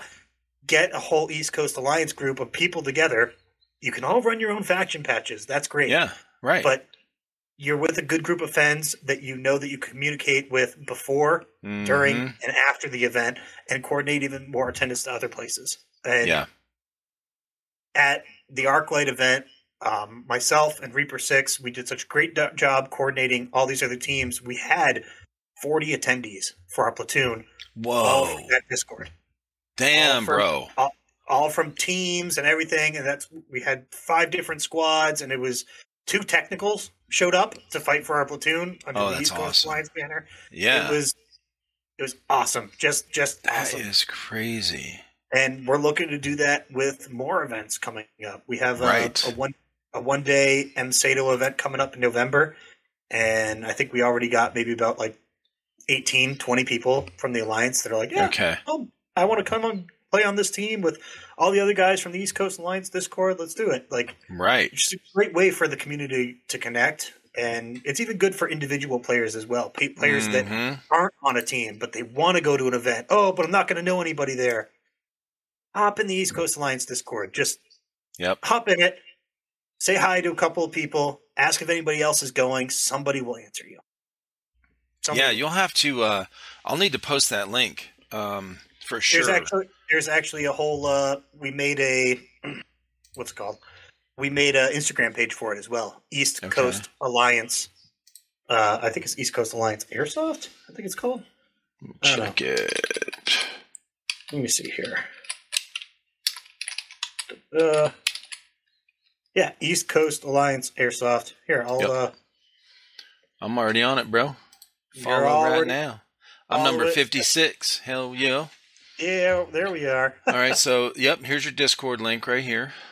Yep, and basically the the the Instagram channel, all it does is pretty much if uh, any link to the Discord. team. Oh yeah, link to the Discord and any team and stuff. They'll share their stories and whatnot, share their posts and stuff onto their story. Okay. But um, the Discord itself, we uh, we have quite a few teams listed in there. Um, let's see, uh, six MG, 19 Combined Arms, Airsoft Anonymous, Blunt Force Airsoft New Hampshire, Dogs of War, Genesis, Green Beans, Grown Man Toy Guns, IROPS, Mobros, Moon Goons. Uh, New England Rangers, Skullfuckers, Task Force Diamond, Valkyrie Directive, Tombstone, and Voodoo Group, and I think there's even more being added as we speak. yeah, I just um, added right now. I mean, I just joined right now. Yeah, I buddy. just waved at. Well, hello there. Yeah. okay. yeah, we- have a whole section of the Discord there. Who's going? That's People impressive, though, dude. Like for real. Like, um, what'd you say? 40 You know, 40 people. We had 40 Bro. people all just from this Discord. yes. Some people some people weren't even in the Discord. They were just members of the team leaders that were in the Discord. And that's the Mhm. most important part. We want those team leaders in there because hey, you you guys are the ones that are running your team. Like if you're going to an event and you you're like, oh yeah, well I have six people on my team that are coming. Oh, well now I have five people. Now I have four people. Like doesn't matter. You're still going. Exactly. Like that. Don't worry about it. The rest Yeah. of the East Coast Alliance is going to have your back. Po- you're not gonna- it on this Discord, and you'll be, you know, somebody will join Yeah. up.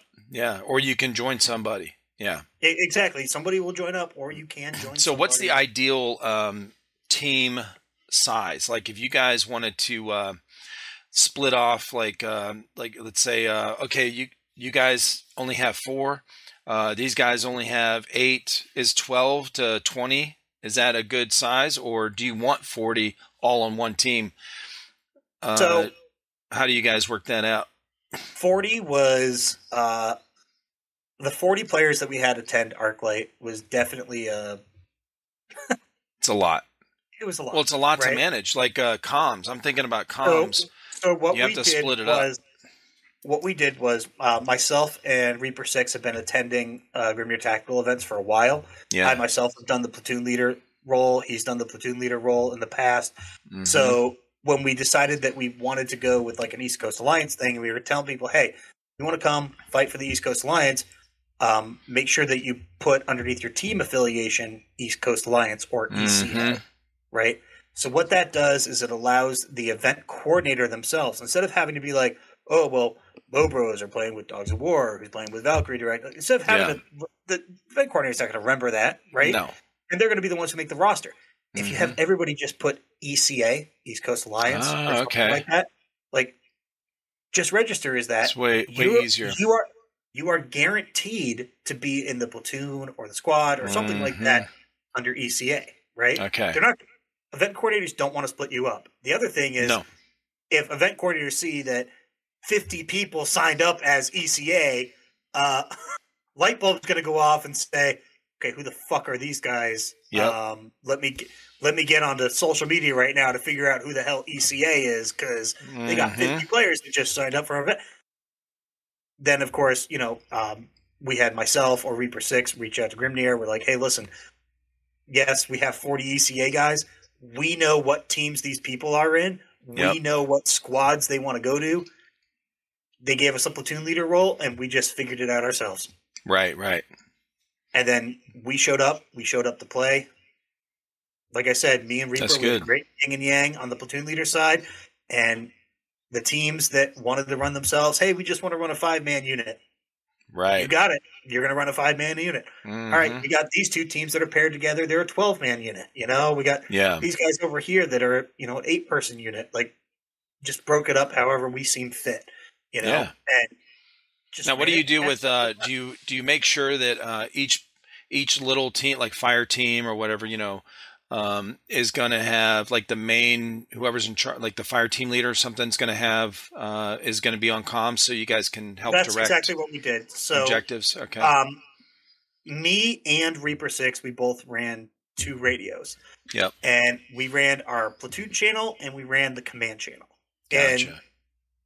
we kind of had to do that because if we tried to run individual squad frequencies, we would just be on the radio all day, just, just typing with a piece of paper in our hand. It's not fun. Yeah. So run two radios. One radio dedicated to the command net. We could talk to our CO. He could talk Mhm. to us, and us two were the only two on there. The other, the platoon channel, we only allowed squad leaders on, and we were very strict about this with our squad leaders because some of them have never squad leaded before. Some of them Mm. have done it before, but they prefer to have a RTO on their squad. relay. Gotcha. We tell people straight out, right? Do not have an RTO. Mm. Don't do it because I, I'm sure he's a great guy, but I'm not trying to talk to the RTO. I'm trying No. to talk to you. Like, Exactly. Your RTO isn't the squad leader. Mhm. You're the squad. Well, you don't want uh, miscommunication either, man. Like the telephone Exactly. game. Like, dude, come on. Mhm. You know, and, And then you know, there's not always, uh, and especially when shit's hitting the fan, there's not always very clear Yeah. or clearly spoken uh, directives when you're over the radio. It can be a little garbled, you know, depending on what's going on, what's in your ear. Like, I who mean, knows? You're you're in the middle of a firefight. You're returning fire, and your RTO yells at you. Background noise. Hey, command! Command says that they want us to pull back. What? Command says he wants us to pull back. No, fuck that. Why would we do that? I, am just relaying the orders, dude. Like it, Yeah, that little happens. That's time wasted. it's so much that. time wasted. No. Just let me, as the platoon leader, talk to my squad leader, please. Yes. If you want an RTO, use the RTO to relay orders to your squad. Yep. Use it in that essence, all right? But I want a radio that goes directly to you. Absolutely. End of story. So that Yeah. and that's what we did. It worked awesome. You know, we were Mhm. able to get a hold of all of our squad leaders. Um, we knew where they were at all times. We knew where our technicals were at all times too, which was Oh, awesome. that's good. you know um, that paid, played a big role Friday night um, trying to defend Meghara, which is the name of the village we were trying to defend. Oh, okay. And I think Ghost told you a little bit of that story. He said I had a grenade throw through a window. Oh, that's yeah, dude, Yeah. for real. I Yeah, forgot about I- that. I don't know how I did that, to be honest with you. Right? I suck at baseball. But uh, I mean, some somebody up above was looking out for me. I guess. There you go, man. There you go. Landed that throw, but um, no, it was Friday night at that event was uh, stressful. Um, it was Okay. myself and I think it was Kraken Actual, which was uh, our commander of our not of our platoon, but like of uh, one of, part of our faction. Okay. Um, him and I were in the second story of a building. The only entrance to it was a staircase on the outside, facing the Mm. rear of the town. gotcha. Um, then we had, you know, we had friendly combatants, you know, down on the first floor, but they'd have to walk outside of cover to go upstairs to the second floor to get us. But we were up on the second floor, vantage point. We could see more. Uh, we could see kind of the tree line and where a lot of our guys were placed. Uh, I was up there with him because he was communicating directly with our CO yeah. and that's that's exactly where I wanted to be. So if I heard something from my you know platoon net, I can relay to him because he's standing right next to me. Mhm. And the two the two of us were just up there on our radios, on our phones, plotting enemy positions in the dark. like that's that's what we did. Yeah. Re- Reaper Six was on the ground, moving from squad to squad to squad, checking on every single one of our squad leaders, all of our guys, making sure that they're properly spread out to defend this town. Like, wow. and he and he did that job awesome. Our squad leaders did their job awesome. Like it it worked. The only reason we lost the town at one point, they pushed in, is because a small unit of CFI enemy forces flanked all the way around the town, and we didn't have anybody watching our six, and they shot a tagging round in through the second story window where myself and Commander West were sitting, Holy and they cow. and they blew us they blew us up. so- Literally, your entire like communications force dead, Oh shit. and that's when the LM, enemy LMGs opened up. And Oh no. I want to say what saved us in this essence was the communication from Reaper Six and our other squad leaders. Mm. because like i said i was constantly on the radio talking to reaper 6 talking to the other squad leaders and then literally talking to command who's standing right next to me. Hey this is what's going on. We have friendlies in this area. We have friendlies to your left to your right. Like i could see where people are on the map. It's when the gunfire started happening and people started calling me on the radio or calling for command on the radio and being like oh shit maddie's hit shit matt fuck, Maddie's hit. We gotta fucking do something. We gotta fucking, oh my god. Like, oh, like, that's I- funny. all I can do is sit there and just listen to these guys on the radio, and they're just like, all right, shit, where is he? We need to get bodies up there. We can't. It's under heavy machine gun fire. Well, we gotta get Oh those my machine God. guns out. Like, they communicated against amongst themselves, hmm and after about 10 minutes, they were able to get some bodies up to the second story and revive not only myself, but also Wes.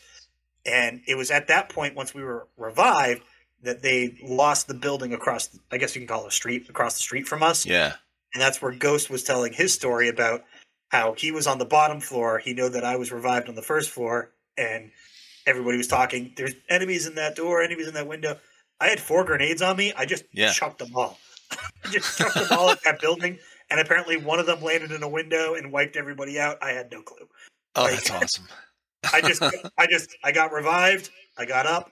I threw grenade after grenade, and then I sat down, went on my phone, and started getting on comms and started calling in for backup. Started Uh-huh. marking enemy positions. I'm like, all right, I did my thing. I threw my pyro. You guys downstairs need to recapture that point, and that's what they did. Like it just That's awesome.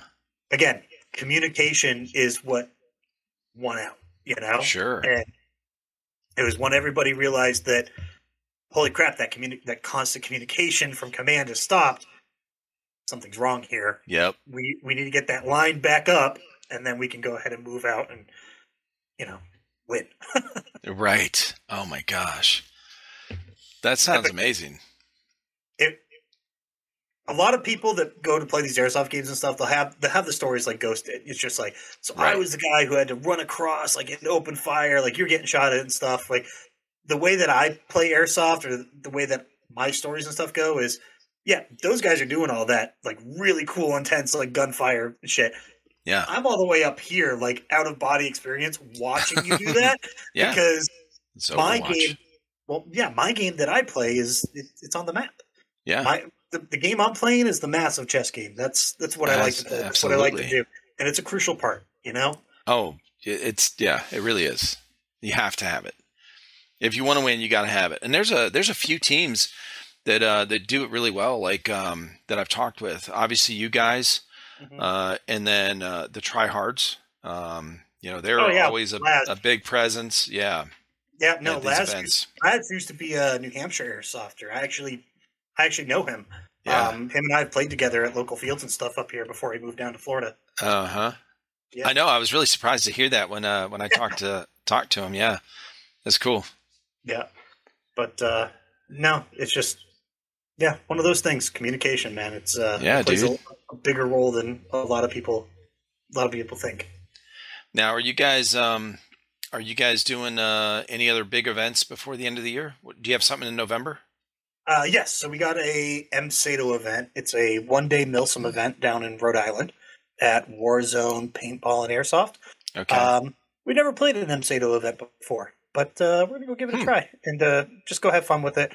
It was kind of disheartening. Um, we had two events, bigger events, on our schedule for the end of this year, yeah, uh, both at Zulu twenty four, and they were both canceled.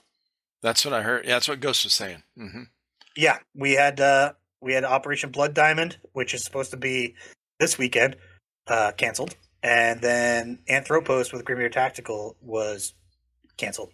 Yeah. Um, I have an idea why Anthropos was canceled. It's still disheartening, you know. Um, yeah. Similar to what we did at ArcLight with like the forty players and stuff coming out. Uh huh. We we were after ArcLight. We started actively planning to do something similar at Anthropos, oh yeah. and the numbers were already reaching like sixty, Yeah. like if not Oh, more, wow. like to get that many people out. And then they released that they're going to cancel the event, so everyone's just like, "Oh, Oh, like, like- so we're, that that East Coast Alliance buildup of like getting these mass amount of people worked.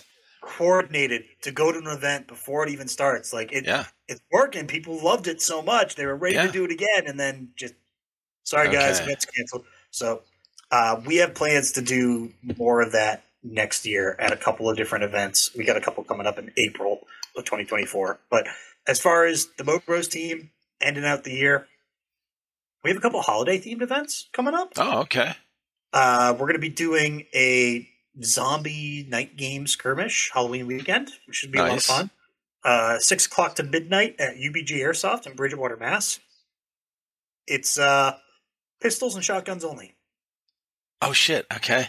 which is, I mean, if, if anybody's ever played that type of game mode, it's it's a lot of fun. No HPA pistols too, so like none of Gotcha. the soft stuff. Like you have to run like regular With old green with gas. regular magazines, no uh, drum mags and Yeah, taps and all no that drum shit. mag, right. nothing like that. That Yeah, and yeah. just a standard shotgun. I think they'll allow bolt action snipers, but that's about it. Like that's Okay.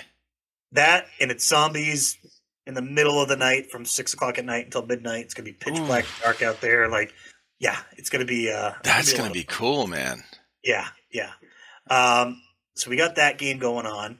Uh, then of course I, I talked about the MSATO event. Um, Mhm. I don't know, really know what to expect from that event. I know it's a Milsim event, Yeah. and so we're going there with the Milsim mindset. You know, we got our squad together, and uh, we're linking up with uh, a couple of other players and teams from the ECA team that wanted to come out and do Okay. So That'll be a fun time. Uh, other than that, we have uh, we have Thanksgiving weekend. There's a local skirmish in New Hampshire that we'll be attending.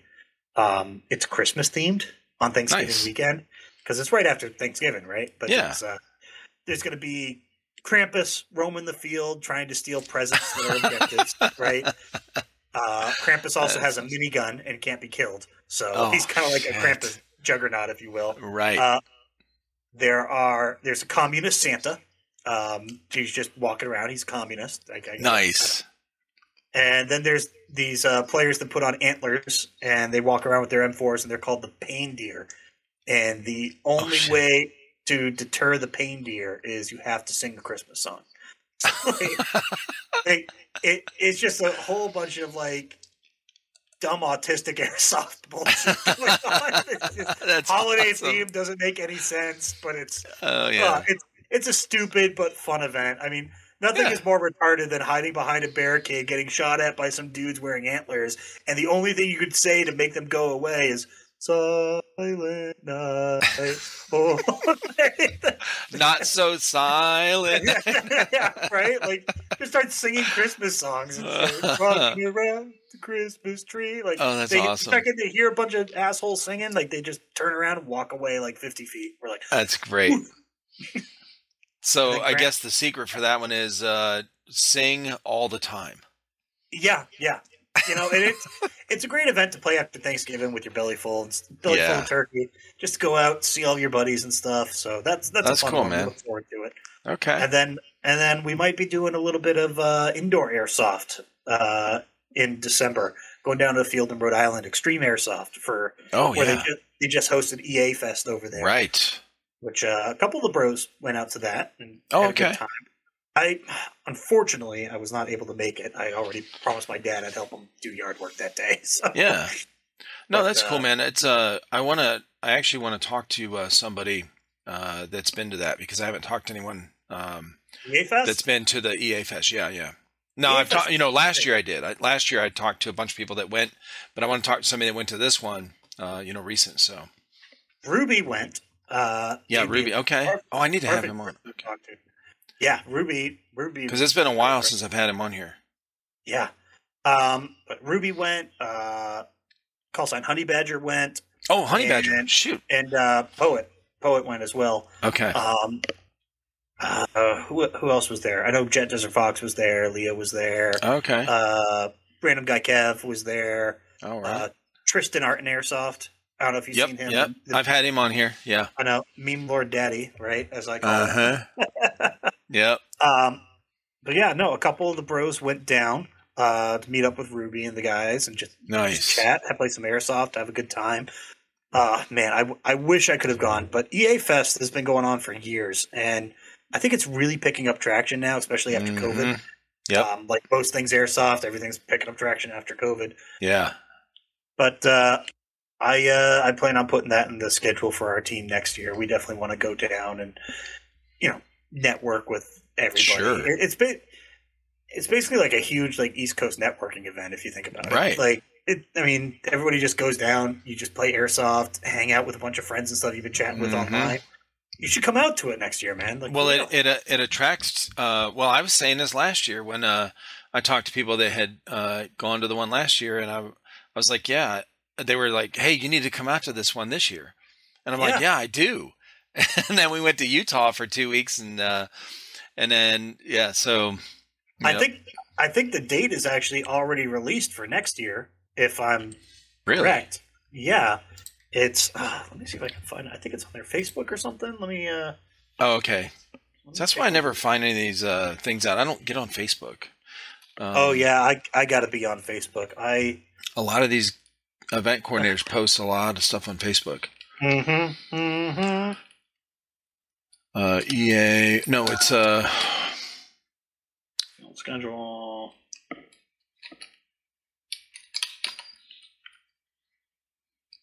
Da-da-da. EA Fest. EA Fest. Maybe it's on their website. It's supposed to be like the same weekend every year. Oh, okay, So so I've been told. yeah. Extreme Airsoft, because I follow their page. Oh, there it is. Let's see if they oh. got it. So it was the Okay. 14 year anniversary was Yeah, right, right. 922.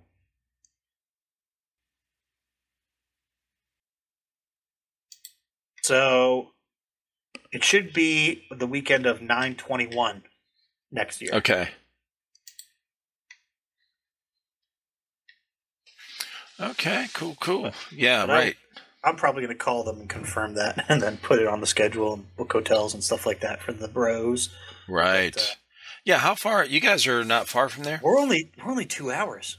My Oh, house that's is good, two hours from that field. Like it's it's not a bad drive at all.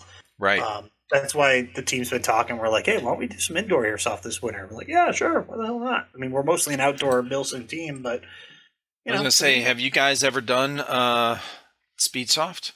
So, uh, actually, great segue. Um, I just went to Florida and played Speedsoft for the first time. In Oh, shit, years of okay. airsoft, I've, I've never even done an airsoft, an indoor field. So Did you post vac- about it? I think I saw. I did. I You were in up with- Florida. yeah, I met up with Strike Entertainment and the Obey Airsoft team down at CIA Tampa, and uh, what an amazing facility that they have down there. By the way, it's just That's what I've heard. they, oh my god, it's just incredible. Great pro shop, just great community, and uh, really, really great field. Um, they showed me a lot of the ins and outs and stuff of it. I kind of got Yeah. a private tour for being friends with Ant, but uh, yeah, it and was- yeah, Ant is Ant is awesome. He's a lot of fun, yeah. and uh, not only did I get to you know play some of the indoor airsoft and stuff, but uh, Ant hooked me up with his uh, his HPA competition gun for the day. oh shit, And, uh, nice. yeah, which was yeah, it's a nice, it's a nice piece of hardware for sure. I'm sure. But, yeah, because uh, there's uh, who's all out there. I've talked to a handful of people out there at CIA Tampa. Oh, Obey man. Airsoft. Um, Yeah. yeah. But uh, no, I actually even got to play uh, a little bit of the speed QB on the on the course too. You know, Nice. a couple a couple end to ends and stuff, and yeah, not not for me. I am not fast enough or in shape enough for that. I was gonna Holy say I'm not. Uh, crap, uh-uh. dude! I was the first one off the field every single time. Like I, I I pushed off hard. I'm just spamming that trigger and just nope, I'm hit. Damn it! uh huh. Like ah, it. Man, it is it is very very very competitive. Yeah. sure. and those guys that do it often they just it they see airsoft and they see that sort of like cqb behavior in a different sense Yep. that being said playing field. Yeah well they know the field they, they just know the corners and they know where where people are and where they will be because they've just ran that scenario a million times a million Mhm. different ways. And uh, the, the skill definitely shows. But where I felt I had a little bit more of an upper hand was when I played the um, just the indoor skirmish part of it, right? Yeah. What you know, just running through the field and you know breaching buildings and stuff. Gotcha. Uh, a lot of the other people I was teamed up with, they didn't want to push, Mm, which, which happens in every airsoft field and every airsoft game, right? sure. You're- Yeah. you run into those players that it's like it's their first time or maybe only their second time.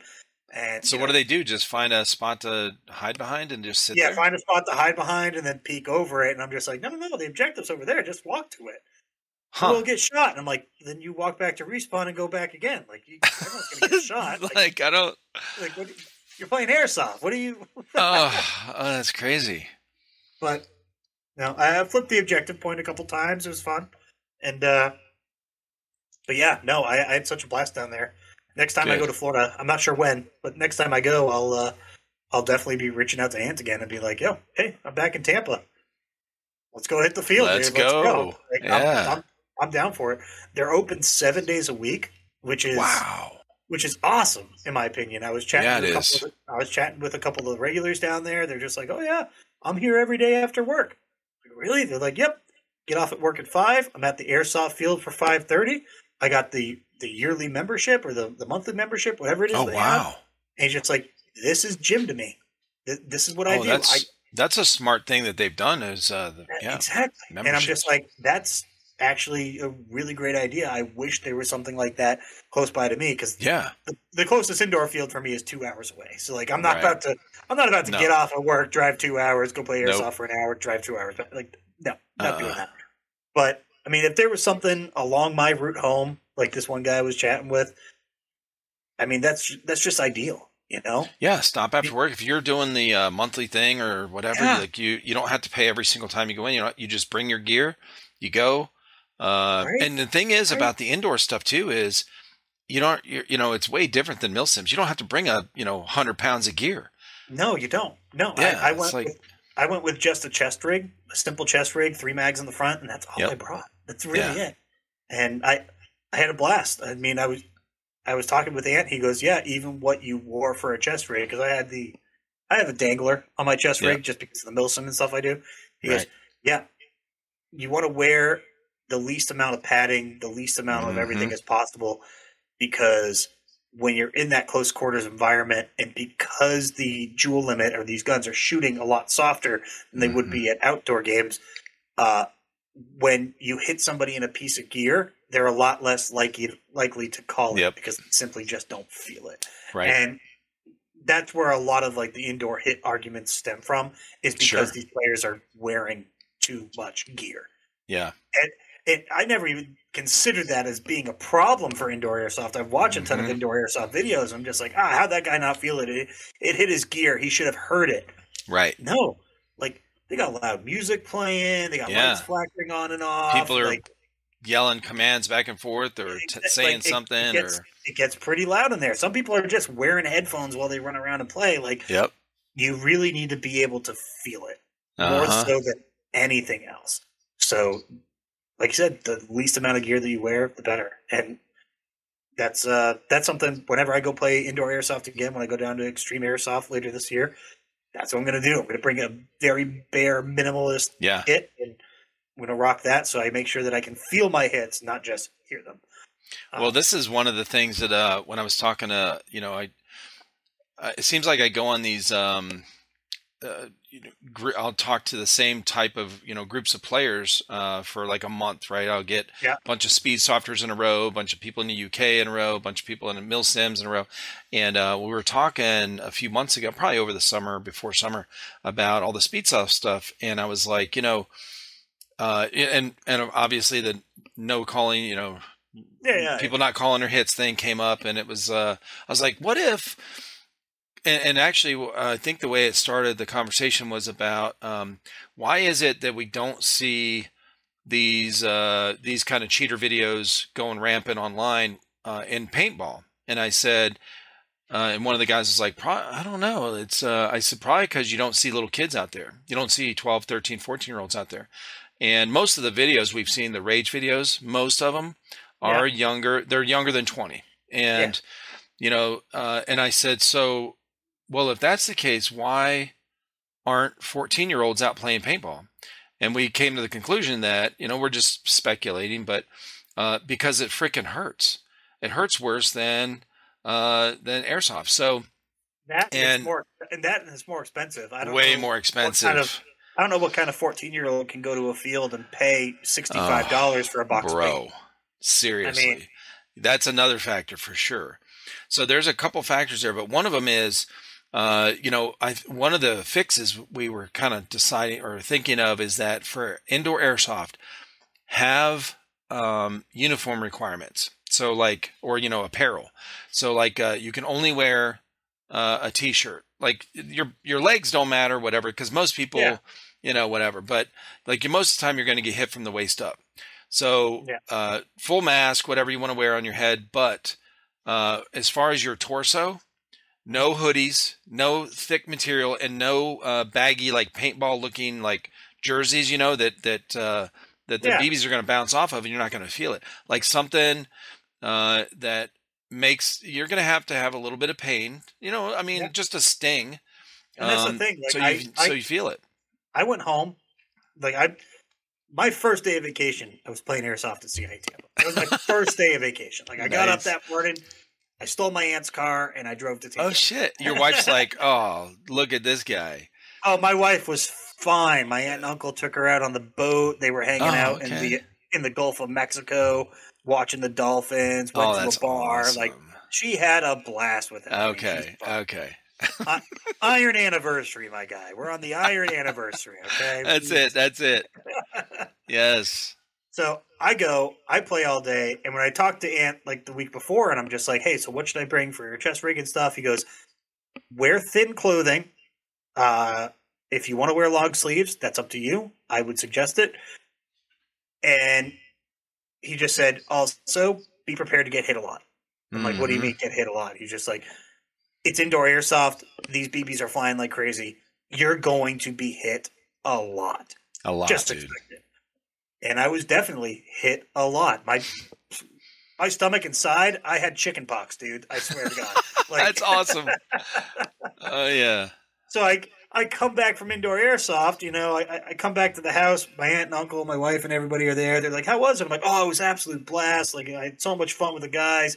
But man, am I I'm sweaty. I'm just gonna take a shower and stuff before we go out on the boat and we go to dinner and whatnot.